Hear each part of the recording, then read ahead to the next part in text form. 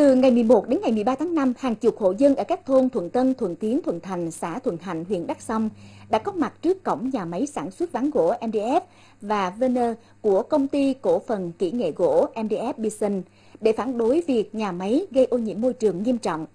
Và mới đây, Ủy ban nhân dân tỉnh Đắk Nông đã ra quyết định xử phạt vi phạm hành chính đối với công ty này với số tiền phạt là 140 triệu đồng. Lý do công ty này đã không vận hành thường xuyên đối với công trình bảo vệ môi trường, quy định tại điểm Y khoảng 1 điều 9, Nghị định số 155 năm 2016, ngày 18 tháng 11 năm 2016 của Chính phủ, quy định về xử phạt vi phạm hành chính trong lĩnh vực bảo vệ môi trường. Đồng thời, Ủy ban Nhân dân tỉnh Đắk Nông buộc công ty cổ phần kỹ nghệ gỗ MDS Bison phải vận hành thường xuyên đối với công trình bảo vệ môi trường, báo cáo kết quả hoàn thành công trình bảo vệ môi trường, trình cơ quan có thẩm quyền kiểm tra, xác nhận hoàn thành.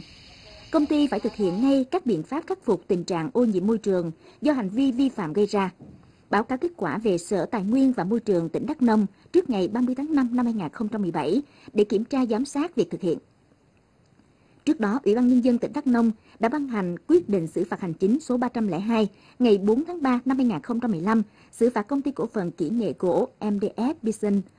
150 triệu đồng vì đã thực hiện không đúng một nội dung trong báo cáo đánh giá tác động môi trường, cụ thể là chưa xây dựng hoàn thiện hệ thống xử lý nước thải.